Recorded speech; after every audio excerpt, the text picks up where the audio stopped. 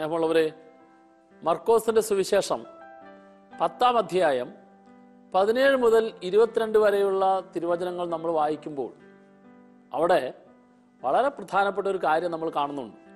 ഇതാണ് യേശു വഴിയിലൂടെ നടന്നു പോകുമ്പോൾ ഒരു യുവാവ് വലിയ ആവേശത്തോടെ യേശുവിന്റെ അടുക്കൽ ചെന്നിട്ട് യേശുവിനോട് പറഞ്ഞു നല്ലവനായ ഗുരു നിത്യജീവൻ അവകാശമാക്കാൻ ഞാൻ എന്തു ചെയ്യണം?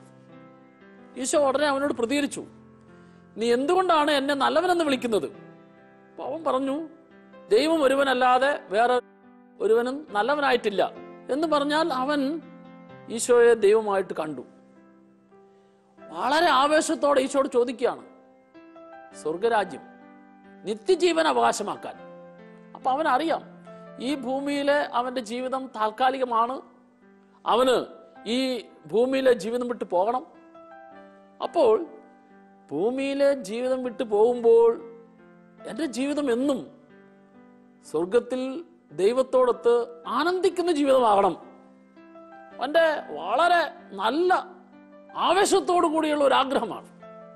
ഈശോ അവനോട് പറഞ്ഞു നിനക്ക് ദൈവകൽപ്പനകളൊക്കെ അറിയാലോ? അവൻ പറഞ്ഞു എനിക്ക് കൃത്യമായിട്ട് അറിയാം. ഞാൻ ചെറുപ്പം മുതലേ അത് കൃത്യമായിട്ട് പാലിക്കുന്നുണ്ട്. ഈശോ അവന്റെ മുഖത്തേക്ക് നോക്കി. ഈശോയ്ക്ക് മനസ്സിലായി അവൻ പറയുന്ന കാര്യങ്ങൾ കൃത്യമാണ്. അവനെല്ലാം അനുസരിച്ച് തന്നെയാണ് ജീവിക്കുന്നത്. എന്നിട്ട് ഈശോ അവന്റെ മുഖത്തേക്ക് നോക്കിയിട്ട് അവനോട് പറഞ്ഞു നിനക്ക് ഒരു കുറവുണ്ട്. അടുത്തത് നീ പൂർണനാകാൻ ആഗ്രഹിക്കുന്നുവെങ്കിൽ നിനക്കുള്ളതെല്ലാം വിറ്റ് നീ ദരിദ്ര കൊടുക്കുക. അപ്പോൾ നിനക്ക് സ്വർഗത്തിൽ നിക്ഷേപമുണ്ടാകും. പ്രിയപ്പെട്ടവരെ മർക്കോസിന്റെ സുവിശേഷം പത്താം അധ്യായത്തിലെ ഇരുപത്തിരണ്ടാം തിരുവചനവും മത്തായുടെ സുവിശേഷത്തിൽ പത്തൊമ്പതാം അധ്യായത്തിലെ ഇരുപത്തിരണ്ടാം തിരുവചനവും സാക്ഷ്യപ്പെടുത്തുന്ന എടുത്തു പറയുന്ന വളരെ പ്രധാനപ്പെട്ട ഒരു കാര്യമുണ്ട്. ഈശോ അവനോട് പറഞ്ഞു നീ പൂർണനാകാൻ ആഗ്രഹിക്കുന്നുവെങ്കിൽ നിനക്ക് നിത്യജീവിതത്തിന്റെ ആ സന്തോഷം എന്നും അനുഭവിക്കണമെങ്കിൽ നിനക്കുള്ളതെല്ലാം വിറ്റ് നീ ദരിദ്രക്ക് നൽകുക. അപ്പോൾ നിനക്ക് സ്വർഗത്തിൽ നിക്ഷയമുണ്ടാകും വചനം പറയുകയാണ് ഈ യേശു പറഞ്ഞ ഈ കാര്യം കേട്ട് അവൻ അതീവ സങ്കടത്തോടെ തിരിച്ചുപോയി. പ്രിയപ്പെട്ടവരെ നമ്മൾ മനസ്സിലാക്കേണ്ട വളരെ പ്രധാനപ്പെട്ട ഒരു കാര്യം. ഈശോയുടെ അടുക്കൽ ഏതെല്ലാം വിധത്തിലുള്ള പാപത്തിന്റെ അവസ്ഥയിൽ ബന്ധനത്തിൽ കഴിഞ്ഞതായ വ്യക്തികൾ യേശുവിന്റെ അടുക്കലേക്ക് കടന്നു വന്നോ? അവരാരും പിന്നെ പാപികളായിട്ട് തിരിച്ചു പോയില്ല. അവരെല്ലാം പൂർണമായ പാപക്ഷമ സ്വീകരിച്ച് സന്തോഷത്തോടെയാ തിരിച്ചു പോയത്. യേശുവിന്റെ അടുക്കലേക്ക് കടന്നു വന്ന രോഗികളാരും പിന്നെ രോഗത്തിന്റെ വേദനയിലും ദുഃഖത്തിലും തിരിച്ചു പോയില്ല. അവരെല്ലാം സൗഖ്യം പ്രാപിച്ച് സന്തോഷത്തോടെ തിരിച്ചുപോയത് എന്ന് പറഞ്ഞാൽ യേശുവിന്റെ അടുക്കിലേക്ക് ഏതെല്ലാം വിധത്തിലുള്ള ദുഃഖത്തിന്റെ വേദനയുടെ നൊമ്പരത്തിന്റെ തകർച്ചയുടെ പരാജയത്തിന്റെ നഷ്ടത്തിന്റെ അവസ്ഥയുമായിട്ട് കടന്നു വന്നോ? കടന്നു വന്നവരെല്ലാം തിരിച്ചുപോയത് വലിയ സന്തോഷത്തോടു കൂടിയാണ്. എന്നാൽ ഈ യുവാവിനെ കുറിച്ച് കർത്താവിന്റെ വചനം പറയുകയാണ് ഇവൻ യേശുവിന്റെ അടുക്കൽ നിന്ന് തിരിച്ചുപോയത് അതീവ സങ്കടത്തോടു കൂടിയാണ്. ഒരേ ഒരു വ്യക്തി സുവിശേഷത്തിൽ രേഖപ്പെടുത്തുന്നതായ സംഭവങ്ങളിൽ ഒരേ ഒരു വ്യക്തി മാത്രമാണ് യേശുവിന്റെ അടുക്കൽ നിന്ന് സങ്കടത്തോടെ തിരിച്ചു പോയത് എന്താണ് അതിന്റെ കാരണം? ഈശോ അവന്റെ മുഖത്തേക്ക് നോക്കിയിട്ട് അവനോട് പറഞ്ഞു നിനക്കൊരു കുറവുണ്ട്. ഈ കുറവിനെ പരിഹരിക്കാൻ നീ ഈശോയോട് സഹകരിച്ചെങ്കിൽ മാത്രമേ യേശു തരുന്ന സന്തോഷവും ആനന്ദവും അനുഭവിക്കാനായിട്ട് സാധിക്കുള്ളൂ. ഞാനും നിങ്ങളുമൊക്കെ കുറെ നാളുകളായിട്ട് ചിന്തിക്കുന്നു. എന്താണ് എനിക്ക് സന്തോഷിക്കാൻ പറ്റാത്തത്? ഞാൻ ധ്യാനം കൂടുന്നുണ്ടല്ലോ. ടെലിവിഷനിലൂടെ വചന ശുശ്രൂഷ ഇഷ്ടം പോലെ കേൾക്കുന്നുണ്ടല്ലോ. ഞാൻ പ്രാർത്ഥനയ്ക്ക് പോകുന്നുണ്ടല്ലോ വിശുദ്ധ കുർബാനയ്ക്ക് പോകുന്നുണ്ടല്ലോ ജപമാല ഓരോ ദിവസവും എത്രയോ ഞാൻ ചെയ്യുന്നുണ്ട്. എന്നിട്ടും എനിക്കെന്തുകൊണ്ട് സന്തോഷിക്കാൻ സാധിക്കുന്നില്ല? എനിക്കെന്തുകൊണ്ട് സമാധാനം കിട്ടുന്നില്ല? നിന്റെ കഴിഞ്ഞ നാളുകളിലെ ജീവിതത്തിന്റെ ആ ജീവിത വഴികളിലെ ആഴങ്ങളിലേക്ക് നോക്കിയിട്ട് ഈശോ പറയുന്നു നിനക്കൊരു കുറവുണ്ട്. പ്രിയപ്പെട്ടവരെ ഞാനും നിങ്ങളും ശ്രദ്ധിക്കേണ്ടത് ഈ കുറവിനെയാണ്. ഞാനും നിങ്ങളും പരിഹരിക്കാനായിട്ട് പരിശ്രമിക്കേണ്ടത് ഈ കുറവിനെ ഇല്ലാതാക്കാനാണ്. ബൈബിളിൽ ഈ കുറവിനെ കുറിച്ച് പറയും ഈ കുറവിനെ രേഖപ്പെടുത്തുക ആസക്തി എന്നാണ്. ഏതോ ചില കാര്യങ്ങളിലെല്ലാം നമ്മളിൽ ഈ ആസക്തികൾ അടിഞ്ഞുകൂടിയിട്ടുണ്ട്. ഈ ആസക്തിയെ നമ്മൾ ഉള്ളിൽ നിന്ന് സ്വഭാവത്തിൽ നിന്ന് മനോഭാവങ്ങളിൽ നിന്ന് പ്രതികരണത്തിൽ നിന്ന് എടുത്തു മാറ്റിയെങ്കിൽ മാത്രമേ അവിടെ കർത്താവിന് അത്ഭുതം പ്രവർത്തിക്കാനായിട്ട് സാധിക്കുള്ളൂ. എന്തുകൊണ്ട്? പല ഇന്റർവ്യൂ നടത്തിയിട്ടും നിനക്ക് ജോലി കിട്ടുന്നില്ല. എന്തുകൊണ്ട്? പല ആലോചനകൾ വന്നിട്ടും നിന്റെ വിവാഹം നടക്കുന്നില്ല. എന്തുകൊണ്ട് പല വിധത്തിലുള്ള കാര്യങ്ങൾ നിനക്ക് കിട്ടിയിട്ടും നിന്റെ ഈ ദാരിദ്ര്യം മാറുന്നില്ല നിന്റെ ഈ കഷ്ടത മാറുന്നില്ല നിനക്ക് അതുപോലെയുള്ള ഒരു സമാധാനം കിട്ടുന്നില്ല നിന്റെ മക്കളുടെ വിവാഹം നടക്കുന്നില്ല നിന്റെ മക്കൾക്ക് ജോലി കിട്ടുന്നില്ല. ഇങ്ങനെ നമ്മൾ അനുദിന ജീവിതത്തിൽ കണക്ക് കൂട്ടുന്ന പല കാര്യങ്ങളും എന്തുകൊണ്ട് ഈ പല കാര്യങ്ങളും നടത്തി കിട്ടുന്നില്ല? നടത്തി കിട്ടാത്തതിന്റെ പ്രധാനപ്പെട്ട കാരണമായി ദൈവത്തിന്റെ വചനം എടുത്തു പറയുന്നത് ഈ ഒരു കുറവാണ്. ഏതോ കാര്യങ്ങളിൽ വിട്ടുമാറാത്ത വിധത്തിൽ നിന്നിൽ ഒരു ആസക്തി കിടപ്പുണ്ട്.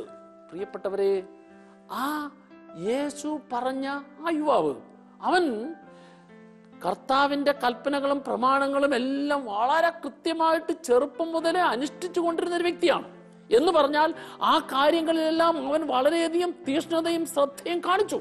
ഇത്രയും ശ്രദ്ധയും തീഷ്ണതയും കാണിച്ച ആ യുവാവിനോട് യേശു പറഞ്ഞില്ലേ നീ പൂർണനാകാൻ ആഗ്രഹിക്കുന്നുവെങ്കിൽ നിനക്ക് ഈ ഒരു കുറവുണ്ട്. ആ കുറവിനെ പരിഹരിക്കാൻ നീ ആ കുറവിനെ നീ വിൽക്കണം. എന്ന് പറഞ്ഞാൽ നീ അതിനെ മാറ്റാനായിട്ട് തയ്യാറാകണം. അതിനെ മാറ്റാൻ അവൻ തയ്യാറാകാത്തത് കൊണ്ട് അവനിലെ കുറവിനെ അവൻ വിൽക്കാൻ തയ്യാറാകാത്തത് കൊണ്ട് അവനിലെ കുറവിനെ അവൻ നീക്കാൻ തയ്യാറാകാത്തത് കൊണ്ട് അതീവ സങ്കടത്തോടെ യേശുവിന്റെ അടുക്കൽ നിന്ന് തിരിച്ചു പോകാൻ കാരണമായി തീർന്നു പ്രിയപ്പെട്ടവരെ ശ്രദ്ധിക്കേണ്ടത് ഇന്ന് ലോകത്തിലെ മനുഷ്യരിൽ വളരെയധികം ആസക്തി ഉള്ള ഒരു കാര്യമാണ് പണത്തോട് അല്ലെങ്കിൽ സമ്പത്തിനോട്. ഏത് മനുഷ്യന്റെ ഉള്ളിലും പിശാജ് കൊണ്ടുവരുന്ന വളരെ പ്രധാനപ്പെട്ട ഒരു ആസക്തി ധനത്തോടുള്ള പണത്തോടുള്ള ആസക്തിയാണ്. നമ്മൾ ബൈബിൾ പരിശോധിക്കുമ്പോൾ മനസ്സിലാക്കുന്ന വളരെ പ്രധാനപ്പെട്ട കാര്യം. യേശു തിരഞ്ഞെടുത്ത പന്ത്രണ്ട് ശിഷ്യന്മാരിൽ എനിക്ക് തോന്നുക ഈ പന്ത്രണ്ട് ശിഷ്യന്മാരിൽ ഈശോ ഏറ്റവും കൂടുതൽ വിശ്വസിച്ചത് ഈ പന്ത്രണ്ട് പേരിൽ ഏറ്റവും കൂടുതൽ യേശു വിശ്വസിച്ചത് യുവദാസനെ ആയിരിക്കും. അതെന്താ കാരണം? സാധാരണഗതിയിൽ ഏറ്റവും കൂടുതൽ വിശ്വസിക്കുന്ന ഒരു വ്യക്തിയാണ് പണം കൈകാര്യം ചെയ്യാനായിട്ട് ഏൽപ്പിക്കുക. ഇവിടെ യേശു യൂദാസിനെ പണം കൈകാര്യം ചെയ്യാനായിട്ട് ഏൽപ്പിച്ചു എന്ന് പറയുമ്പോൾ ഏൽപ്പിച്ച പണിയിൽ അവൻ അവിശ്വസ്തത കാണിച്ചു. യൂദാസിന്റെ ഒരു പ്രതികരണമുണ്ട്. യോഹന്നാന്റെ സുവിശേഷം പന്ത്രണ്ടാം അധ്യായത്തിന്റെ അഞ്ചും ആറും തിരുവചനത്തിൽ. അവിടെ യൂദാസ് ചോദിക്കുന്ന ഒരു ചോദ്യം. എന്തുകൊണ്ട് ഈ തൈലം മുന്നൂറ് ധനാറായിക്ക് വിറ്റിട്ട് അതിൽ നിന്ന് കിട്ടുന്നതായ പണം കൊണ്ട് എന്തുകൊണ്ട് പാവപ്പെട്ടവരെ സഹായിച്ചില്ല? എന്തുകൊണ്ടാണ് ഈ സ്ത്രീ ഇതുപോലത്തെ ഒരു പാഴ്വേല ചെയ്യാനായിട്ട് ഇവൻ അനുവദിച്ചത്? യുവദാസന്റെ ഈ ചോദ്യത്തിന്റെ മുമ്പിൽ ദൈവത്തിന്റെ വചനം തുടർന്ന് കൊടുക്കുന്ന ഒരു ഉത്തരമുണ്ട്. യൂദാസ് അങ്ങനെ പറഞ്ഞത് അവന് ദരിദ്രരോട് പരിഗണന ഉണ്ടായിരുന്നത് കൊണ്ടല്ല മറിച്ച് വചനം പറയാണ്. മറിച്ച് അവൻ ഒരു കള്ളനായിരുന്നത് കൊണ്ടും പണസഞ്ചി അവന്റെ കയ്യിലായിരുന്നത് കൊണ്ടും അടുത്തത്. ഈ പണസഞ്ചിയിൽ നിന്ന് അവൻ ഇടയ്ക്കിടയ്ക്ക് മോഷ്ടിച്ചെടുത്തിരുന്നത് കൊണ്ടുമാണ് അവന് ദരിദ്രനോട് പരിഗണനയുണ്ടായിരുന്നത് കൊണ്ടല്ല അവൻ ഇങ്ങനെ പറഞ്ഞത്. മറിച്ച് അവൻ ഒരു കള്ളനായിരുന്നത് കൊണ്ടും പണസഞ്ചി അവന്റെ കയ്യിലായിരുന്നത് കൊണ്ടും അതിൽ വീഴുന്നതിൽ നിന്ന് അവൻ എടുത്തിരുന്നത് കൊണ്ടുമാണ് യൂദാസ് ഇങ്ങനെ പറഞ്ഞത് എന്ന് കർത്താവിന്റെ വചനം അടിവരയിട്ട് പറയുകയാണ് പ്രിയപ്പെട്ടവരെ സത്യത്തിൽ യൂദാസിനെ കർത്താവ് തെരഞ്ഞെടുത്തപ്പോൾ അവൻ വിശ്വസ്തനായിരുന്നു. അവൻ സത്യസന്ധനായിരുന്നു. എന്നാൽ പണം കൈകാര്യം ചെയ്യുന്ന പണി അവന് കിട്ടിയപ്പോൾ ഈ പണത്തോടുള്ള ആസക്തി അതിലൂടെ കടന്നു വന്ന പിശാജ് കൊടുത്ത പ്രേരണ ഈ പ്രേരണയാണ് തന്റെ ഗുരുവിനെ ഒറ്റിക്കൊടുക്കുവാനും അതുവഴി അവൻ ശിക്ഷയിലേക്ക് നയിക്കപ്പെടുവാനും കാരണമായി തീർന്നത്. ഇവിടെയൊക്കെ ലോകത്തിലെ മനുഷ്യർ ചോദിക്കുന്ന ചില ചോദ്യമുണ്ട്. ആ ചോദ്യം ഇതാണ്. യേശുവിന്റെ കൂടെ മൂന്ന് വർഷം നടന്നിട്ടും യേശു തന്റെ ശിഷ്യന്മാരിൽ പന്ത്രണ്ട് പേരിൽ ഒരുവനായി തെരഞ്ഞെടുത്തിട്ടും എന്തുകൊണ്ട് ഈശോയ്ക്ക് ഇവനെ രക്ഷിക്കാൻ പറ്റിയില്ല? ബുദ്ധിയുടെ തലത്തിൽ നിന്ന് ചോദിക്കുന്നൊരു ചോദ്യമാണ്. എന്തുകൊണ്ട് രക്ഷിക്കാൻ പറ്റിയില്ല? പ്രിയപ്പെട്ടവരെ നമ്മളൊക്കെ അതിനുള്ള ഉത്തരം മനസ്സിലാക്കണം. ദൈവം എന്തോരം വിചാരിച്ചാലും ഒരു പാപിയെ രക്ഷിക്കാൻ പറ്റിയില്ല. എന്ന് പറഞ്ഞാൽ ദൈവം മാത്രം വിചാരിച്ചാൽ പറ്റിയല്ല. എനിക്ക് രക്ഷപ്പെടണമെന്ന് എന്റെ പാപത്തിൽ നിന്നാകട്ടെ ലോകസുഖത്തിൽ നിന്നാകട്ടെ ജഡിക സുഖത്തിൽ നിന്നാകട്ടെ തിന്മയുടെ പ്രവൃത്തിയിൽ നിന്നാകട്ടെ ഇതിൽ നിന്നെല്ലാം എനിക്ക് രക്ഷപ്പെടണമെന്ന് ഏറ്റവും ആദ്യം ഞാൻ ആഗ്രഹിക്കണം. ഞാൻ ചിന്തിക്കണം. ഞാൻ വിചാരിച്ചാലേ ദൈവത്തിന് രക്ഷപ്പെടുത്താനായിട്ട് സാധിക്കുള്ളൂ. ബൈബിൾ പഠിപ്പിക്കുന്നു. ഒരിക്കലും ഒരു കാരണത്തിലും ദൈവം മനുഷ്യനെ ശിക്ഷിക്കുകയില്ല. ദൈവം എങ്ങനെയെങ്കിലും മനുഷ്യനെ രക്ഷിക്കുന്നതിന് വേണ്ടി കാത്തിരിക്കുന്ന രക്ഷിക്കുന്നതിന് വേണ്ടി മനുഷ്യന്റെ പുറകെ നടക്കുന്ന വ്യക്തിയാണ്. പക്ഷേ മനുഷ്യന് ദൈവം ആഗ്രഹിക്കുന്നതായ രക്ഷ കിട്ടണമെങ്കിൽ അവൻ ഈ രക്ഷ നൽകാൻ കഴിവുള്ള ദൈവത്തിലേക്ക് തിരിയണം. ദൈവം രക്ഷിക്കാൻ വേണ്ടി ഒരുക്കുന്നതായ വഴികളെ അവൻ സ്വീകരിക്കാൻ തയ്യാറാകണം. Praise the lord. എന്തുകൊണ്ട് യൂദാസ് രക്ഷപ്പെട്ടില്ല? കാരണം അവന് പണത്തോടുള്ള ആസക്തി. അവനിൽ ഈ ഒരു കുറവ് കിടപ്പുണ്ടായിരുന്നു. ഈ കുറവിനെ അവൻ പരിഹരിക്കാൻ അവൻ യേശുവിനോട് ചേർന്നില്ല. മറിച്ച് വീണ്ടും പണം കിട്ടുന്നതിന് വേണ്ടി അവൻ യേശുവിനെ ഒറ്റിക്കൊടുക്കാൻ പോലും തയ്യാറായി. ഞാൻ പറഞ്ഞത് പണത്തിന് അത്രമേൽ ആസക്തി വരുത്തുന്ന ഒരു പ്രവണത ഉണ്ട് എന്ന് അനുദിന ജീവിതത്തിൽ ഞാനും നിങ്ങളും തിരിച്ചറിയണം. എത്രയോ മാതാപിതാക്കന്മാരാണ്. വളരെ സമ്പത്തുണ്ട് പണമുണ്ട് എല്ലാ വിധത്തിലും സുഖസൗകര്യമുണ്ട്. പക്ഷേ സമാധാനമില്ല. മക്കൾക്ക് വേണ്ടി ഇഷ്ടം പോലെ കരുതി വെച്ചിട്ടുണ്ട്. സമ്പത്തും ബാങ്ക് ഡിപ്പോസിറ്റ് എല്ലാം. ഈ പണം കരുതി വെച്ചിരിക്കുന്നതിനനുസരിച്ച് ഈ പണത്തിന്റെതായ ആസക്തി ഈ മാതാപിതാക്കന്മാരുടെ മക്കൾ അത് നാലും അഞ്ചും മക്കളുണ്ടെങ്കിലും ഒരാൾ പോലും ഈ മാതാപിതാക്കന്മാരെ പ്രായത്തിൽ അവരുടെ വാർദ്ധക്യത്തിൽ അവർ നോക്കുന്നില്ല. ഇത്തരത്തിലുള്ള പ്രവണത കൂടിക്കൂടി വരികയാണ്. കൂടിക്കൂടി വരാൻ എന്താ കാരണം? പണത്തോടുള്ള ആസക്തി. ഇന്ന് നമ്മൾ ലോകത്തിലേക്ക് നോക്കുമ്പോൾ ഏത് കൊലപാതകത്തിന്റെ പിന്നിലും ഏത് ഭീകര പ്രവർത്തനത്തിന്റെ പിന്നിലും അതിന്റെ എല്ലാം പിന്നിൽ പ്രവർത്തിക്കുന്ന പ്രധാനപ്പെട്ട ഒരു കാരണം ഈ പണത്തോടുള്ള സമ്പത്തോടുള്ള ആസക്തിയാണ്. ഈശോ ഓരോ വ്യക്തിയെയും നോക്കി പറയുന്നു നിനക്കൊരു കുറവുണ്ട്. ഈ കുറവ് നിന്നിലെ ഒരു ആസക്തിയാണ്. അതിനെ നീ എപ്പോഴും ശ്രദ്ധിക്കണം. പ്രിയപ്പെട്ടവരെ അപ്പസ്തോല പ്രവർത്തനം നാലാം അധ്യായം മുപ്പത്തിരണ്ടാം തിരുവചനത്തിൽ. പരിശുദ്ധാത്മാവിനാൽ നിറഞ്ഞ ആദിമ ക്രൈസ്തവ സമൂഹം. ഈ സമൂഹത്തെക്കുറിച്ച് കർത്താവിന്റെ വചനം പറയുകയാണ് വിശ്വാസികളുടെ സമൂഹത്തിന് ഒരേ ഹൃദയവും ഒരേ ആത്മാവുമാണ് ഉണ്ടായിരുന്നത്. ആരും തങ്ങളുടെ വസ്തുവകൾ സ്വന്തമെന്ന് അവകാശപ്പെട്ടില്ല. മറിച്ച് എല്ലാം പൊതുവായി കരുതി പരസ്പരം പങ്കുവെച്ച് അനുഭവിച്ചുകൊണ്ടിരുന്നു. അടുത്തത് അഞ്ചാമത്തെ അധ്യായത്തിൽ. അപ്പസ്തോല പ്രവർത്തനം അഞ്ചാം അധ്യായത്തിന്റെ ഒന്ന് മുതൽ പതിനൊന്ന് വരെയുള്ള തിരുവചനങ്ങളിൽ അവിടെ രണ്ട് പേര് ഒരു ഭാര്യയും ഭർത്താവും അനന്യാസും സഫിറയും. ഈ അനന്യാസും സഫിറയും തങ്ങളുടെ പറമ്പ് വിറ്റതായ വിറ്റ് കിട്ടിയതായ പണത്തിൽ രണ്ട് പേരും പരസ്പരം അറിഞ്ഞുകൊണ്ട് കുറച്ച് അതിൽ നിന്ന് മാറ്റിവെച്ചു.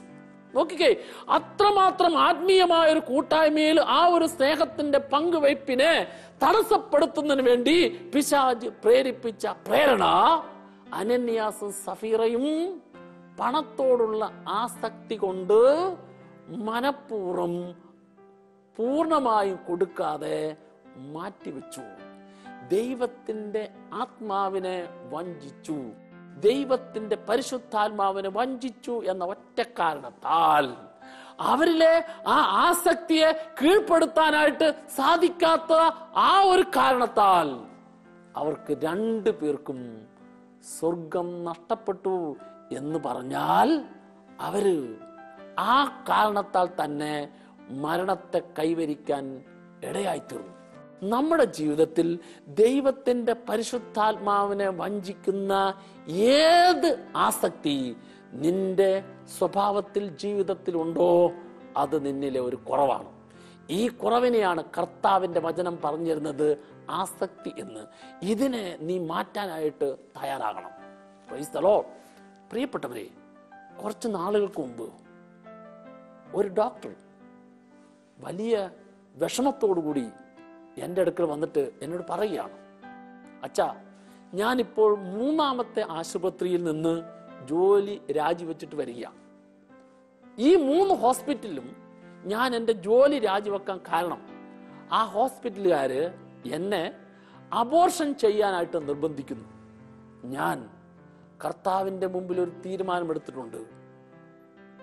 കുഞ്ഞുങ്ങളുടെ ജീവനെ നശിപ്പിക്കുന്ന അബോർഷൻ എന്നതായ മാരകമായ പ്രവൃത്തി ഞാൻ എന്റെ പ്രൊഫഷണലിൽ ചെയ്യല. ഇത് ചെയ്യാത്തതിന്റെ പേരിലാണ് മൂന്ന് ആശുപത്രികളിൽ നിന്നും ഞാൻ രാജിവെച്ച് പോരേണ്ടതായിട്ട് വന്നത്. അച്ഛാ എന്റെ വിഷമം അതല്ല. എന്റെ വിഷമം എന്റെ ഭാര്യ എന്നെ നിർബന്ധിക്കുന്നു. എന്റെ ഭാര്യ എന്നെ ഞാൻ ഈ അബോഷൻ ചെയ്തിട്ട് ഹോസ്പിറ്റലിൽ പിടിച്ചു നിൽക്കാത്തതിന്റെ പേരിൽ അതുമൂലം നഷ്ടപ്പെടുന്നതായ പണം. അബോർഷൻ ചെയ്തു കഴിഞ്ഞാൽ കൂടുതൽ പണം ആശുപത്രിയിൽ നിന്ന് ശമ്പളമായിട്ട് ലഭിക്കും. അതിന്റെ പേരിൽ പ്രത്യേകമായിട്ടുള്ള ഒരു പാരിതോഷികം തന്നെ കൂടുതൽ സാമ്പത്തിക മെച്ചം അതിലൂടെ ഉണ്ടാക്കാനായിട്ട് സാധിക്കും.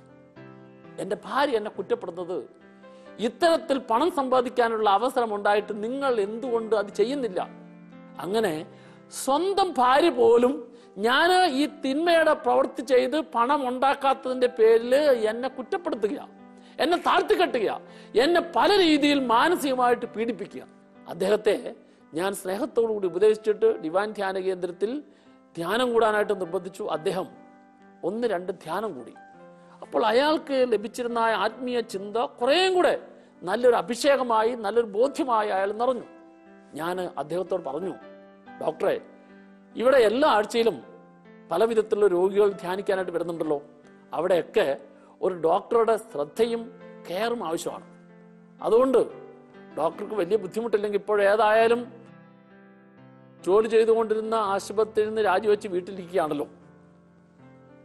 ഒരു വർഷം ഡിവാൻ ധ്യാന കേന്ദ്രത്തിൽ ഡോക്ടർ ഈ ഒരു പ്രത്യേകമായിട്ടുള്ള ആഗ്രഹത്തെ നിയോഗം വെച്ചുകൊണ്ട് ഡോക്ടർ ഇവിടെ ശുശ്രൂഷ ചെയ്യും. അപ്പോൾ ഞാൻ പറഞ്ഞതായ കാര്യം ഡോക്ടറിന് സ്വീകാര്യമായി. അങ്ങനെ ഡോക്ടർ ഡിവാൻ ധ്യാന ധ്യാനം കൂടി അവിടെ ശുശ്രൂഷ ചെയ്തുകൊണ്ടിരുന്നപ്പോൾ ഇടയ്ക്കൊക്കെ ഭാര്യയും മക്കളും ഒക്കെ കാണാനൊക്കെ ആയിട്ട് വരും. അങ്ങനെ ഭാര്യയും മക്കളും എല്ലാം ആ ഒരു വർഷത്തിനുള്ളിൽ ഡിവാൻ ധ്യാന കേന്ദ്രത്തിൽ ധ്യാനത്തിൽ കൂടി അങ്ങനെ അവരിലെ ആ കഴിഞ്ഞ നാളുകളിലെ ആ ചിന്താഗതി മനോഭാവം മാറി. ആ ഡോക്ടറിന്റെ ഭാര്യയ്ക്ക് ധനത്തോടുള്ള പണത്തോടുള്ള അമിതമായിട്ടുള്ള ആസക്തി. ഈ ആസക്തി ആ സഹോദരൻ നിന്ന് വിട്ടുമാറി. അങ്ങനെ ഒരു വർഷത്തെ ഡിവാൻ ധ്യാനികത്തിന് ശുശ്രൂഷയുടെ ഫലമായിട്ട് പ്രിയപ്പെട്ടവരെ ആ ഡോക്ടർ താമസിച്ചുകൊണ്ടിരുന്ന സ്ഥലത്തിന്റെ സമീപത്തെ ടൗണിൽ കുറച്ച് നാളുകളായിട്ട് നഷ്ടത്തിൽ പോയിക്കൊണ്ടിരുന്ന ഒരു ഹോസ്പിറ്റൽ അവർ വിൽക്കാനായിട്ട് പരസ്യം കൊടുക്കുന്നത് കണ്ടു. ആ ഡോക്ടർ തങ്ങൾ ബാങ്കിൽ നിന്ന് ലോൺ എടുത്തും ഉണ്ടായിരുന്ന പണമെല്ലാം മുടക്കിയും ആ ഹോസ്പിറ്റൽ വാങ്ങിച്ചു. അങ്ങനെ അദ്ദേഹം സ്വന്തമായിട്ടൊരു ഹോസ്പിറ്റൽ നടത്തി. അവിടെ എല്ലാം യേശുക്രിസ്തുവിന് സാക്ഷ്യം വഹിക്കുന്ന സ്നേഹത്തിന്റെയും നന്മയുടെയും പ്രവൃത്തി ചെയ്തു. ഡോക്ടർ ഡിവൈൻ ധ്യാന കേന്ദ്രത്തിൽ ഒരു വർഷത്തെ ശുശ്രൂഷയിലൂടെ ലഭിച്ച പുതിയ സ്നേഹ അനുഭവത്തെ ആ ശുശ്രൂഷയിൽ കൊടുത്തു. അതിനുശേഷം വളരെ സന്തോഷത്തോടെ ഒരു പ്രാവശ്യം ആ ഡോക്ടർ എന്നെ കാണുമ്പോൾ എന്നോട് പറഞ്ഞു അച്ഛാ ഞാൻ പുതിയതായിട്ട് തുടങ്ങിയിരിക്കുന്ന ആ ഹോസ്പിറ്റലിൽ ഞാൻ രോഗികളെ പരിശോധിച്ച് അവർക്ക് മരുന്ന് എഴുതി കൊടുക്കും. ആ മരുന്ന് കുറിപ്പിന്റെ പുറകിൽ ഞാൻ ഒരു കാര്യം കൂടി എഴുതും. മരുന്ന് കുറിപ്പ് എഴുതുന്നതിന്റെ മോളിൽ ആ മരുന്ന് കുറിച്ചിരിക്കുന്നതിന്റെ മോളിൽ എഴുതും ഇത് രോഗിക്കുള്ളത്. അതിന്റെ മറുവശത്ത് ഞാൻ മോളിൽ എഴുതും ഇത് വിശ്വാസിക്കുള്ളത്. ആ വിശ്വാസിക്കുള്ളത് എന്നതിന്റെ താഴെ ആ രോഗിയുടെ രോഗത്തിൽ ദൈവത്തിന്റെ അത്ഭുതം പ്രവർത്തിക്കാൻ ഞാൻ ചില വചനങ്ങളുടെ എഴുതി രേഖപ്പെടുത്തി കൊടുക്കും. മരുന്നിലൂടെ വചനത്തെയും കൂടെ ഉൾക്കൊള്ളുന്ന അനേക രോഗികളിൽ രോഗസൗഖ്യത്തിന്റെ അവസ്ഥയും അതോടൊപ്പം വിശ്വാസത്തിന്റെ നിറവും ലഭിക്കുന്നതായിട്ട് അനേകം രോഗികൾ സൗഖ്യം പ്രാപിച്ച വ്യക്തികൾ സന്തോഷത്തോടെ എന്റെ അടുക്കൽ വന്ന് പറഞ്ഞിട്ടുണ്ട്. പ്രിയപ്പെട്ടവരെ ആ ഡോക്ടറുടെ ജീവിത സാക്ഷ്യം ജീവിത പങ്കാളി പണത്തോടുള്ള ആസക്തിയുമായിട്ട് കടന്നു വന്നപ്പോൾ അവിടെ പതറാതെ പരാജയപ്പെടാതെ ആ ഡോക്ടർ ദൈവം നൽകിയിരിക്കുന്ന കഴിവിനെ ഒരു ജീവിത സാക്ഷ്യമാക്കി മാറ്റിയപ്പോൾ അതിലൂടെ അനേകം വ്യക്തികളിലേക്ക് സൗഖ്യത്തോടൊപ്പം വിശ്വാസത്തിന്റെ കൃപയും കടന്നു ചെല്ലാൻ കാരണമായി തീർന്നു. ഏത് ആസക്തിയാണോ എന്നെ പിടികൂടിയിരിക്കുന്നത് അത് ചിലപ്പോൾ പണത്തിന്റെ മേലുള്ള ആസക്തി ആയിരിക്കാം രണ്ടാമത്തത് ജഡത്തിന്റെ മേലുള്ള ആസക്തി. അത് വളരെയധികം ശ്രദ്ധിക്കേണ്ട ഒരു കാര്യമാണ്. ശരീരത്തിന്റെ പ്രവണത ഈ ശരീരത്തിന്റെ പ്രവണത എപ്പോഴും തെറ്റിലേക്ക് പാപത്തിലേക്ക് നയിക്കാനായിട്ടുള്ള ഒരു ആഗ്രഹം അതിൽ തന്നെ കിടപ്പുണ്ട്. കർത്താവിന്റെ വചനം ഇങ്ങനെ പറഞ്ഞിരുന്നു. റോമാലേഖനം പന്ത്രണ്ടാം അധ്യായം ഒന്നാം വചനത്തിന്റെ രണ്ടാം ഭാഗം. നിങ്ങളുടെ ശരീരത്തെ വിശുദ്ധവും കർത്താവിന് പ്രീതികരമായ സജീവ ബലിയായി നിങ്ങൾ അർപ്പിക്കുവിൻ. ഇതാണ് യഥാർത്ഥ ആരാധന. അപ്പോൾ ദൈവം എനിക്ക് തന്നിരിക്കുന്ന ഈ ശരീരം ഓരോ ദിവസവും ആരാധിക്കാൻ വേണ്ടിയിട്ടുള്ളതാണ്. ഈ ശരീരത്തെ ആരാധനയാക്കി മാറ്റുന്നതിന് സാത്താൻ തടസ്സപ്പെടുത്തുന്ന ചില ആസക്തികളുണ്ട്.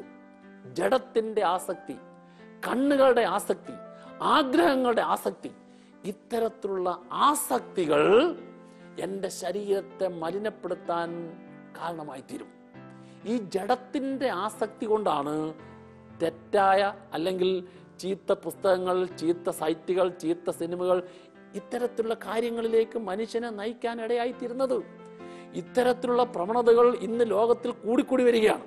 ഈ കൂടിക്കൂടി വരുന്നതായ ലോക പ്രവണതകളുടെ മുമ്പിൽ എനിക്ക് പിടിച്ചു നിൽക്കാൻ സാധിക്കണമെങ്കിൽ അവിടെയൊക്കെ എനിക്ക് വിശുദ്ധ ജീവിതം നയിക്കാനായിട്ട് സാധിക്കണമെങ്കിൽ ഈ ആസക്തികളെ അടിമപ്പെടുത്തുന്ന ദൈവത്തിന്റെ ശക്തി ഓരോ ദിവസവും ഞാൻ കൂടുതൽ കൂടുതൽ കരുത്തോടുകൂടി സ്വീകരിക്കണം. പ്രിയപ്പെട്ടവരെ ബൈബിളിൽ നമ്മൾ കാണുമ്പോൾ ന്യായാധിപന്മാരുടെ പുസ്തകം അതിന്റെ പതിമൂന്നാം അധ്യായം മുതൽ പതിനാറാം അധ്യായം വരെ എടുത്തു കാണിക്കുന്ന ഒരു വ്യക്തിയുണ്ട്. ആ വ്യക്തിയാണ് സാംസൺ. ഈ സാംസണിൽ ദൈവത്തിന്റെ ആത്മാവ് ശക്തമായി പ്രവർത്തിച്ചു എന്ന് രേഖപ്പെടുത്തിയിരിക്കുകയാണ്. ന്യായാധിപന്മാരുടെ പുസ്തകം പതിനാലാം അധ്യായത്തിന്റെ ആറാം തിരുവചനം പത്തൊമ്പതാം തിരുവചനം പതിനഞ്ചാം അധ്യായത്തിന്റെ പതിനാലാം തിരുവചനം ഈ മൂന്ന് സ്ഥലങ്ങളിലും രേഖപ്പെടുത്തിയിരിക്കുകയാണ്. ദൈവത്തിന്റെ ആത്മാവ് ശക്തമായി സാംസണിൽ നിറഞ്ഞുകൊണ്ടിരുന്നു പ്രവർത്തിച്ചുകൊണ്ടിരുന്നു. ഇത്രമാത്രം ആത്മാവിന്റെ ശക്തിയും ആത്മാവിന്റെ അഭിഷേകവും ലഭിച്ചിരുന്ന കിട്ടിയിരുന്ന സാംസൺ. ഈ സാംസണിലെ ജഡത്തിന്റെ ആസക്തി എന്ന് പറഞ്ഞാൽ ന്യായാധിപന്മാരുടെ പുസ്തകം അതിന്റെ പതിനാറാം അധ്യായത്തിന്റെ പത്തൊമ്പതാം തിരുവചനത്തിൽ ദലീല എന്ന ഒരു വേശ്യ സ്ത്രീയുമായിട്ടുള്ള ഈ സാംസണിന്റെ ബന്ധം അവന്റെ ജഡിക ആസക്തിയിലെ ആ ബന്ധം ആ ബന്ധം സാംസണിൽ ദൈവത്തിന്റെ ആത്മാവിന്റെ പ്രവർത്തനം മുഴുവൻ ചോർന്നു പോകാൻ നഷ്ടപ്പെടാൻ കാരണമായി തീർന്നു. അവിടെ വചനം പറയുകയാണ്. ന്യായാധിപന്മാരുടെ പുസ്തകം പതിനാറാം അധ്യായത്തിന്റെ ഇരുപതാം തിരുവചനം. സാംസണിൽ നിന്ന് ദൈവത്തിന്റെ ആത്മാവ് വിട്ടുപോയത് അവൻ അറിഞ്ഞില്ല. ജഡത്തിന്റെ ആസക്തി ദൈവത്തിന്റെ ആത്മാവ് അവനിൽ നിന്ന് വിട്ടുപോകാൻ കാരണമായി തീരും. അതുകൊണ്ട് നമ്മൾ ഓരോരുത്തരും ഏറ്റവും കൂടുതൽ ശ്രദ്ധിക്കണം. എന്റെ ശരീരം ദൈവത്തിന്റെ ആലയമാണ്. ഈ ശരീരം ആരാധിക്കാൻ വേണ്ടിയിട്ടുള്ളതാണ്. എപ്പോൾ ഈ ശരീരത്തിൽ ആസക്തികൾ കടന്നു വരുന്നോ ഈ ആസക്തികളെ ആത്മാവിന്റെ ശക്തി കൊണ്ട് നിഹനിക്കാൻ തക്ക വിധത്തിൽ ഞാൻ പ്രവർത്തിച്ചില്ലെങ്കിൽ ഇതിലെ കുറവ് എന്നെ കൂടുതൽ കൂടുതൽ പാപത്തിലേക്കും തെറ്റിലേക്കും നയിക്കാൻ കാരണമായി അടുത്ത ഒരു ആസക്തിയാണ് അധികാരത്തിന്റെ ആസക്തി. നിനക്ക് ദൈവം തന്നിരിക്കുന്ന ഓരോ അധികാരങ്ങളുണ്ട്. അപ്പനാണെങ്കിൽ അപ്പന്റെ അധികാരം അമ്മയാണെങ്കിൽ അമ്മയുടെ അധികാരം ഭർത്താവിന്റെ അധികാരം മക്കളുടെ അധികാരം. ഈ അധികാരത്തിൽ ആസക്തി കടന്നു വരും. എന്ന് പറഞ്ഞാൽ അവിടെ എല്ലാം അഹങ്കാരം കൂടിക്കൂടി വരും. ഓരോ അഹങ്കാരത്തിന്റെ പ്രവൃത്തിയും അധപതനത്തിലേക്ക് നയിക്കും. ഞാൻ നിങ്ങൾ മനസ്സിലാക്കേണ്ടത് ദൈവം നമുക്ക് തന്നിരിക്കുന്ന ഓരോ അധികാരവും ഓരോ അറിവും ഓരോ കഴിവും ശുശ്രൂഷയ്ക്ക് വേണ്ടിയിട്ടാണ്. ശുശ്രൂഷയ്ക്ക് വേണ്ടിയിട്ടാണ്. സ്നേഹത്തിന്റെ പ്രവൃത്തികൾ ചെയ്യുന്നതിന് വേണ്ടിയിട്ടാണ്. ഈശോ പറഞ്ഞു കൊടുത്തല്ലോ തങ്ങളിൽ ആരാണ് വലിയവൻ എന്ന ശിഷ്യന്മാരുടെ ചോദ്യത്തിന് മുമ്പിൽ? ഈശോ പറഞ്ഞു നിങ്ങളിൽ വലിയവനാകാൻ ആഗ്രഹിക്കുന്നവൻ എല്ലാവരുടെയും ശുശ്രൂഷകനായിരിക്കണം. നിങ്ങളിൽ ഒന്നാമനാകാൻ ആഗ്രഹിക്കുന്നവൻ എല്ലാവരുടെയും ദാസനായിരിക്കണം. ഈശോ പഠിപ്പിച്ച ഈ കാര്യത്തെ അവിടുന്ന് കാണിച്ചു തന്നു യോഹന്നാന സുവിശേഷം പതിമൂന്നാം അധ്യായം പതിമൂന്നും പതിനാലും തിരുവചനം. നിങ്ങൾ എന്നെ ഗുരുവെന്നും കർത്താവുമെന്നാണ് വിളിക്കുന്നത്? അത് ശരിയാണ്. അത് അർത്ഥവത്താണ്. നിങ്ങളുടെ ഗുരുവും കർത്താവുമായി ഞാൻ നിങ്ങളുടെ പാദങ്ങൾ കഴിയെങ്കിൽ നിങ്ങളും പരസ്പരം പാദങ്ങൾ കഴുകാൻ തയ്യാറാകണം.